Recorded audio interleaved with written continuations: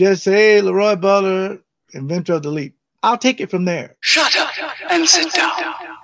Did you ever think that a little 25 yard scamper for a touchdown after Reggie pitched it to you would turn into this, I mean, a worldwide phenomenon in the Lambeau Leap? And I remember Holmgren saying, whatever happens, if one of you guys get a fumble, don't lateral the ball. When I called the fumble, I saw Reggie White, and I think he's with Steve Wisniewski, and he was about to fall. I said to myself, Self, he's going to pitch this ball.